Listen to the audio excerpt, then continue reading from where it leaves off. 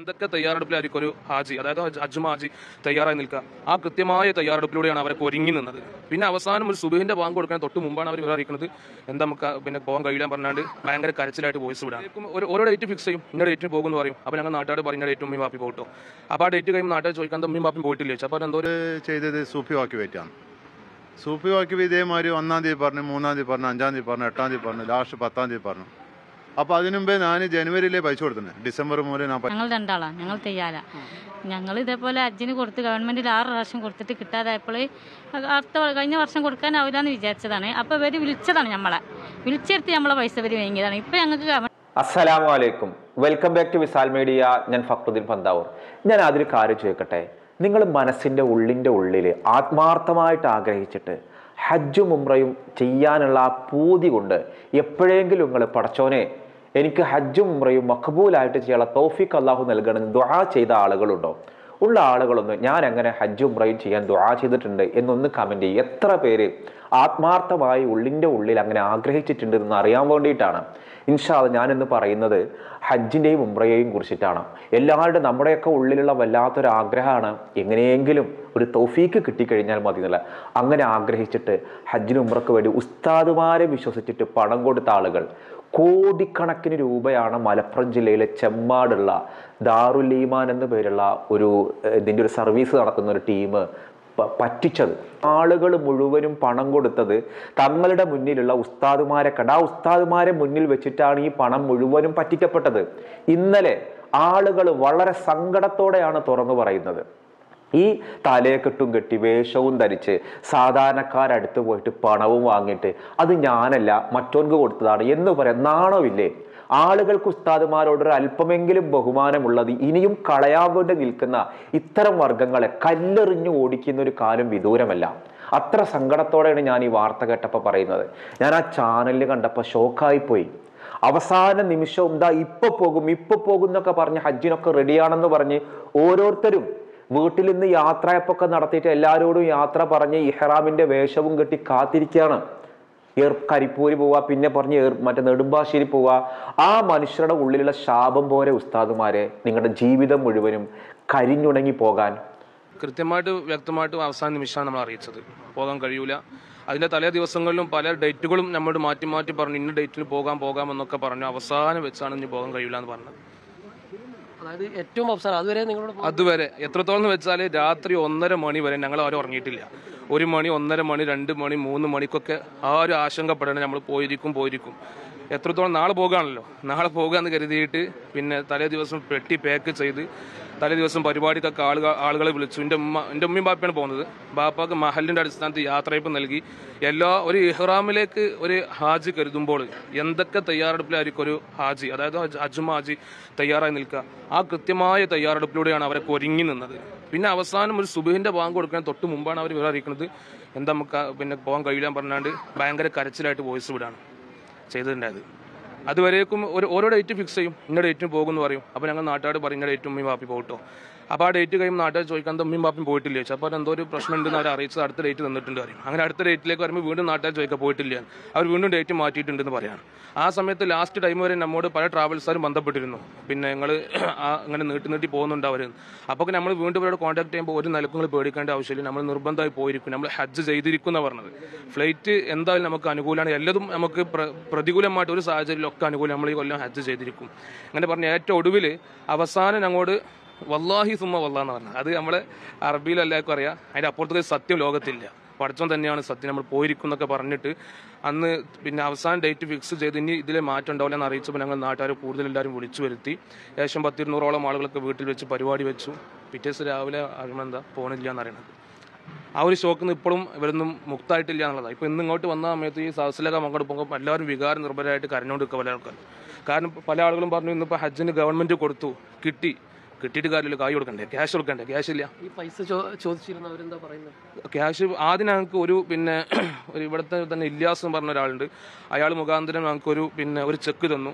ആ ചെക്ക് ഞങ്ങൾക്ക് date fix ആക്കി തന്നു. ഞങ്ങൾ ആ ചെക്ക് പരിശോധിച്ചപ്പോൾ ബ്ലാങ്ക് ആണ്. ഒന്നുമില്ല പിന്നെ ഞങ്ങൾക്ക് ഒരു ഷൈലോക്ക് എന്ന വക്കീലുണ്ട്. അയാൾ മുഖാന്തരം ഞങ്ങൾക്ക് അഗ്രിമെന്റ് എഴുതി തന്നു. എഗ്രിമെന്റ് എഴുതി തന്നിട്ട് ഇന്ന ഡേറ്റ് ഇന്ന ആളുകൾക്ക് തരുന്ന അങ്ങോട്ട് പറഞ്ഞത്. ഞങ്ങൾക്ക് വരുന്ന ഡിസംബറാണ്. പക്ഷേ ഈ വടകര ടീമിന് കഴിഞ്ഞ മുപ്പതിലെ മുപ്പതിന് ഡേറ്റ് കൊടുത്തു. പക്ഷെ അവർക്ക് കിട്ടിയിട്ടില്ല. ഒരു ചെക്ക് ഇങ്ങനെ എഴുതി തരാം. നമ്മൾ ഈ നോട്ട് പുസ്തകമൊക്കെ പേപ്പർ വർഷനൊക്കെ ഇങ്ങനെ എഴുതി ഇങ്ങനെ കൊടുക്കുക. അത് വാങ്ങുക. ഇങ്ങനെ സംവിധാനത്തിൽ കാണിക്കും ആളുകൾ ട്രാവൽസ് ഉടമയുടെ അഫ്സലിന്റെയോ ഷെഫീഖിന്റെയോ അയാളെ പേര് കണ്ടിട്ടല്ല കാശ് കൊടുക്കണത്. ആളുകൾ ഉസ്താദുമാരെ മുന്നിൽ വെച്ച് ഉസ്താദുമാർ പറയുകയാണ് ഇതാണ് വളരെ കുറഞ്ഞ സർവീസ് കൊണ്ട് ഒരുപാട് സൗകര്യം ഉണ്ടാകുന്ന പറയുമ്പോൾ ജനങ്ങൾ വീഴാൻ കാശ് കൊടുക്കാൻ എന്നിട്ട് ആ കാശുമില്ല ഹജ്ജിന് പോകാനുള്ള സൗകര്യം കിട്ടില്ല കഴിഞ്ഞ വർഷത്തെ ദുരനുഭവമുള്ള ആളുകളാണ് ഇന്നലെ ഒത്തുകൂടിയത്. ഇവർ ഇവർക്ക് ഇത്തവണ ചില ആളുകൾക്ക് ഇത്തവണ സർക്കാരിന്റെ പതിനാലായിരത്തി അഞ്ഞൂറ്റി തൊണ്ണൂറ്റി നാല് പേർക്ക് ലിസ്റ്റ് കിട്ടിയ ആളുകളിലുള്ള ആളുകളാണ്. അവർക്ക് ഇപ്പോൾ കൊടുക്കാൻ ക്യാഷ് ഇല്ല. കാശ് തിരികെ ചോദിക്കുമ്പോൾ ഇവർ കൈമലർത്താണ് ഞങ്ങൾക്കറിയില്ല. ഞാൻ പറയുന്നു കഴിഞ്ഞ തവണ ഹജ്ജിന്റെ പേരിൽ ഒരുപാട് തട്ടിപ്പ് നടത്തിയിട്ടുണ്ട്. നമ്മൾ പല തവണ ഹജ്ജിന്റെ ഈ വീഡിയോ മുഴുവനായിട്ട് വിശാൽ മീഡിയയുടെ വീഡിയോ കാണുന്നവർക്കറിയാം. ഹജ്ജിന്റെ പേരിൽ നടന്ന അവിടെ നടന്നിട്ടുള്ള പല തട്ടിപ്പുകളും പല ഇവിടെ നിന്നുള്ള സൗകര്യങ്ങൾ ഉണ്ട് എന്ന് പറയുമ്പോൾ ഭക്ഷണം കൊടുക്കാത്ത കേസ് വരുന്നതായിട്ട് നമ്മൾ പറയുമ്പോൾ ഹാജിമാരെ കുറിച്ച് അങ്ങനെ പറയാൻ പാടില്ല. ടൂറ് പോയതൊന്നും അല്ലല്ലോ. കുറച്ചൊക്കെ പട്ടിണി കിടക്കേണ്ടി വരും കുറച്ചൊക്കെ ബുദ്ധിമുട്ടേണ്ടി വരും എന്ന് പറഞ്ഞ് എന്നെ നിരുത്സാഹപ്പെടുത്തിയ ആളുകളുണ്ട്. ഞാൻ അപ്പോഴും പറയുന്നു ഈ സൗകര്യങ്ങളൊക്കെ കൊടുക്കുന്നു പറഞ്ഞ് സ്വകാര്യ ഹജ്ജ് ഗ്രൂപ്പുകാർ കൊണ്ടേയിട്ട് പട്ടിണി കിടക്കേണ്ടി വന്ന ഹാജിമാരുണ്ടായിട്ടുണ്ട്.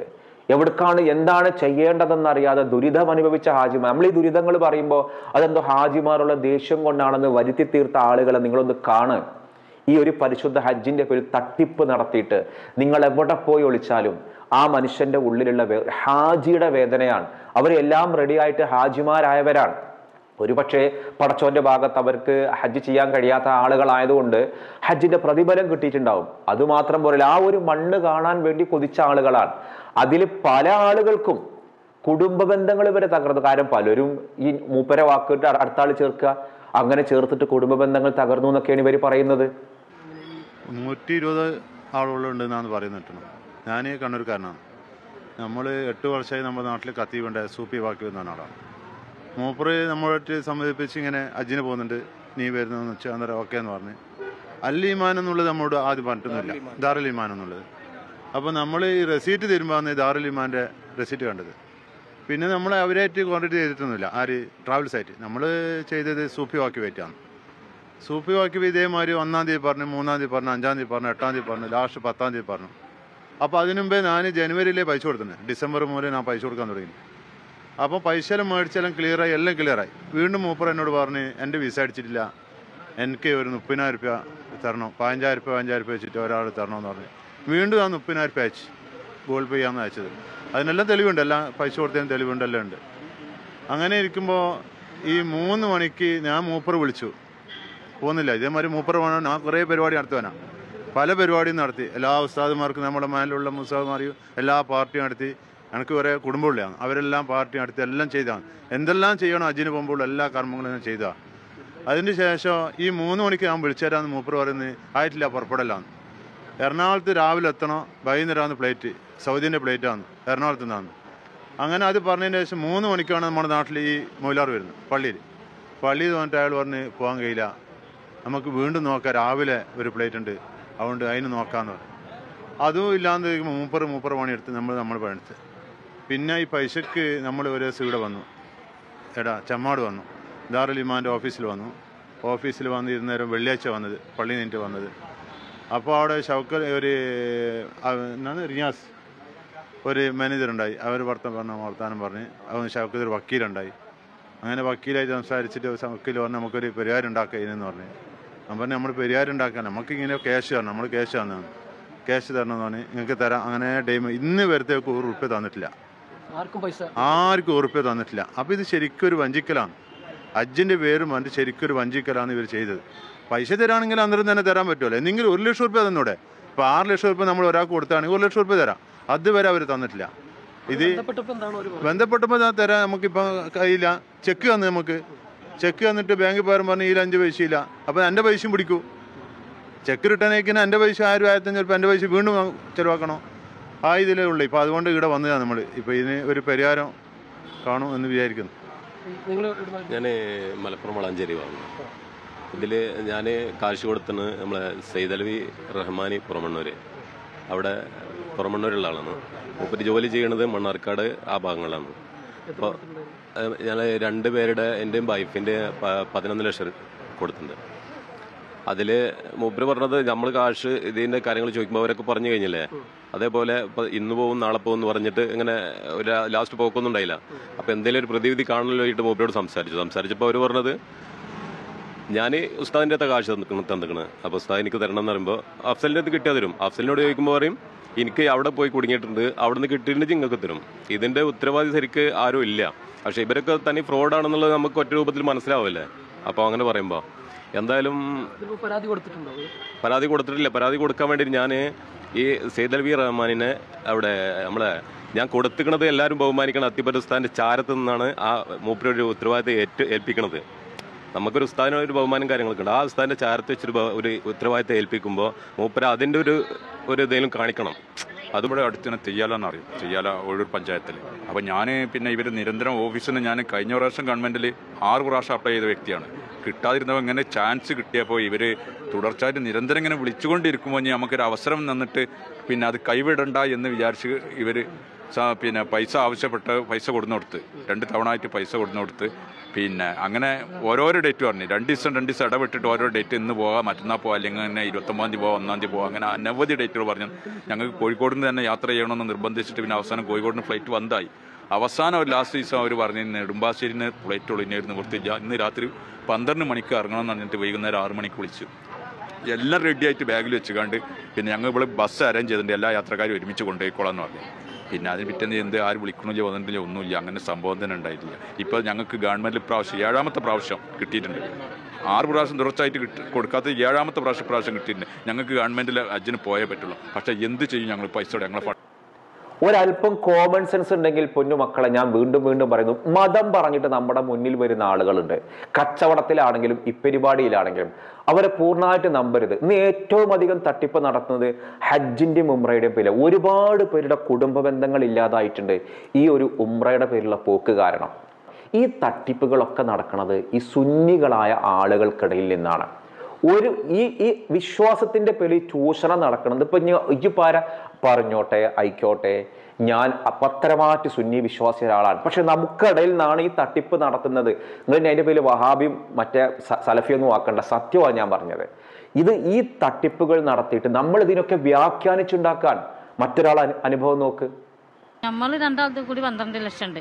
ഞങ്ങൾ രണ്ടാളാണ് ഞങ്ങൾ തെയ്യാല. ഞങ്ങൾ ഇതേപോലെ അജ്ജിന് കൊടുത്ത് ഗവൺമെന്റിൽ ആറ് പ്രാവശ്യം കൊടുത്തിട്ട് കിട്ടാതായപ്പോൾ അടുത്ത കഴിഞ്ഞ വർഷം കൊടുക്കാനാവില്ലാന്ന് വിചാരിച്ചതാണ്. അപ്പോൾ ഇവർ വിളിച്ചതാണ് നമ്മളെ വിളിച്ചെടുത്ത് നമ്മളെ പൈസ ഇവർ വാങ്ങിയതാണ്. ഇപ്പോൾ ഞങ്ങൾക്ക് ഗവൺമെന്റിൽ കിട്ടിയിട്ടുണ്ട്.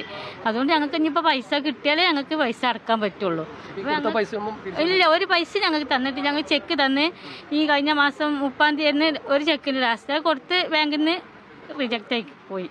ഇനിയിപ്പോൾ ഡിസംബർക്കാണ് ഒരു ചെക്ക് തന്നിട്ടുണ്ടത് അതുകൊണ്ട് ഞങ്ങൾക്ക് ഞങ്ങളെ പൈസ കിട്ടണം. ഞങ്ങൾക്ക് കിട്ടിയിട്ട് വേണം ഇനി ഞങ്ങൾക്ക് ഗവൺമെന്റിൽ ലജ്ജിന് പോവാൻ പൈസ കൊടുക്കാൻ ഞങ്ങൾ വിഷമപ്പോൾ ഞങ്ങൾക്ക് പറയാനില്ല. എന്താ പൈ ചെയ്യണ്? നമ്മൾ വിഷമം പറയല്ലാതെ അന്ന് മുതൽ ഇന്നോളം ഉരുകി തീരാണ്. ഭക്ഷണമില്ല ഊണില്ല ഉറക്കില്ല എന്ന് പറഞ്ഞ മാതിരി നമ്മളിങ്ങനെ ചെയ്യണ്. അതന്നെ. ഇതൊക്കെ തന്നെ ഇവരൊക്കെ ഇവരൊക്കെ വീടുകളിൽ പറഞ്ഞ് സന്തോഷത്തോടു കൂടി ഇറങ്ങി വന്ന ആളുകൾ. നിങ്ങൾക്ക് അങ്ങനത്തെ എത്ര കേസുണ്ട് സർക്കാർ ആകെയുള്ള ഹജ്ജിന്റെ കോട്ടയിൽ പത്ത് അറുപത് ശതമാനം അറുപത്തഞ്ചിലധികം സർക്കാരിന്റെ കയ്യിലും ബാക്കിയൊക്കെ സ്വകാര്യ ഗ്രൂപ്പുകൾക്കാണ് ഇപ്പോൾ ഉള്ളത്. ഈ സ്വകാര്യ ഗ്രൂപ്പുകാർ ഓരോ പ്രദേശത്തു നിന്നും ഓരോ സ്റ്റേറ്റിൽ നിന്നും അവർ പോകാത്ത കോട്ടകളൊക്കെ വലിയ പണം കൊടുത്ത് വാങ്ങിയിട്ടാണ് ഇങ്ങനെ കൊണ്ടുപോകുന്നത്. അപ്പോൾ എസ്റ്റാബ്ലിഷ്ഡ് അല്ലാത്ത ടീമിലാണെങ്കിൽ പോവാതിരിക്കുക. രണ്ട് ഇവരാരെങ്കിലും പറ്റിച്ചതാണെങ്കിൽ ഇത് തുറന്നു പറഞ്ഞൂടെ? തുറന്നു പറഞ്ഞിട്ട് ആ കാര്യങ്ങൾ തുറന്നു പറഞ്ഞാൽ ആളുകൾക്ക് മനസ്സിലാവില്ല. ഈ ഒരു തീർത്ഥാടകരെ കബളിപ്പിച്ചിട്ട് ഇവരെന്ത് നേട്ടം നേടാനാണ്? അത്തിപ്പറ്റ ഉസ്താദിന്റെ മുൻപിൽ നടക്കം കാശ് കൊടുത്തു എന്നൊക്കെ പറയണത്. അത്തിപ്പറ്റ ഉസ്താദിന്റെ മഖാമിൽ നിന്ന് അത്തിപ്പറ്റ ഉസ്താദിന്റെ മുൻപിൽ നിന്ന് ഉദ്ദേശിച്ചത് ആ മക്കാമിൽ നിന്ന്. അപ്പൊ അത്രയും വിശ്വാസം നേടിയിട്ടാണ് ഈ ആളുകൾ ഇത് ചെയ്തിട്ടുള്ളത്. ദയവ് ചെയ്തിട്ട് ഒരു അഭിപ്രായമാണ് ഉസ്താദുമാരെ. ഒരു നിലക്കും നിങ്ങൾ നിങ്ങൾക്ക് നിങ്ങളുടെ മുന്നിൽ വരുന്ന ആളുകൾ ട്രാവൽസിന്റെ ആളുകൾ അത് ഇത് ഒരുപാട് ഓഫറുകൾ നിങ്ങൾക്ക് നൽകും. നിങ്ങളെ ഫ്രീ ആയിട്ട് ഉമ്രക്ക് കൊണ്ടുപോകാം നിങ്ങൾ ജനങ്ങളെ കബളിപ്പിച്ചിട്ട് ഉസ്താദുമാരെ വില കളയരുത്. ആളുകൾക്ക് ഇപ്പോഴെങ്കിലും ഒരു അല്പം റെസ്പെക്റ്റ് ബാക്കിയുണ്ട്. ആ റെസ്പെക്റ്റ് നിങ്ങളായിട്ടില്ല. നാട്ടുകാർ വടിയെടുത്ത് അടിച്ച് ഓടിക്കണ കാലം വരും. ഈ വേഷം കണ്ടിട്ട്. ആ ആ ഒരു കാര്യത്തിലേക്കാണ് പലരും ഇത് ചെയ്യുന്നത്. വേദനയോടെയാണ് ഞാനിത് പങ്കുവെക്കുന്നത്. അപ്പം ഇൻഷാ അല്ല ആ, കഴിഞ്ഞ ഒരു ദിവസത്തെ നമ്മൾ ചോദ്യം ചോദിച്ചിരുന്നു ഈ ഇന്ത്യ മറ്റേ ലോകത്ത് അഞ്ഞൂറ് മഹാവ്യക്തിത്വങ്ങളുണ്ട് ലോകത്തെ സ്വാധീനിച്ച ആളുകൾ. അതിൽ ആരായിരുന്നു കേരളത്തിൽ നിന്ന് ഇന്ത്യയിൽ നിന്ന് തിരഞ്ഞെടുത്ത പണ്ഡിതൻ? പലരും മൂന്ന് ചോദ്യങ്ങളായിരുന്നു കാന്തപുരം ഉസ്താദ് ജിഫിരി മുത്തുക്കോയ തങ്ങൾ ബഹാദുർ നബി മിക്ക ആളുകളും എഴുതിയത് കാന്തപുരം എ പി അബൂബക്കർ സുലിയാർ എന്ന ഉസ്താദിനെയാണ്. എന്നാൽ ആ ഉത്തരം തെറ്റാണ്. ഈ കഴിഞ്ഞ ദിവസമാണ് അതിന് മാധ്യമങ്ങൾ വാർത്ത വന്നിരുന്നു. ഡോക്ടർ ബഹാവുദ്ദീൻ ദേവി കുരിയാട് എന്ന മഹാപണ്ഡിതനാണ് ഈ അഞ്ഞൂറ് മഹാവ്യക്തിത്വങ്ങൾ ഈ പട്ടികയിൽ ഉൾപ്പെട്ട ഇന്ത്യയിൽ നിന്നുള്ള ഒരേ ഒരു പണ്ഡിതൻ അപ്പോൾ മുഹമ്മദ് നദീബി കുരിയാട് അതാണ് ശരിയായ ഉത്തരം. ഇതുപോലെയുള്ള തട്ടിപ്പുകാർക്കെതിരെ നമ്മൾ തന്നെ രംഗത്ത്. ഇത്തരം തട്ടിപ്പുകളിൽ നിന്ന് അള്ളാഹു നമ്മളെയും നമ്മുടെ പ്രിയപ്പെട്ടവരെയും ഒക്കെ കാത്തു രക്ഷിക്കട്ടെ മറ്റൊരു ദിവസം മറ്റൊരു വീഡിയോയുമായി വീണ്ടും കാണാം. അസ്സലാമു അലൈക്കും.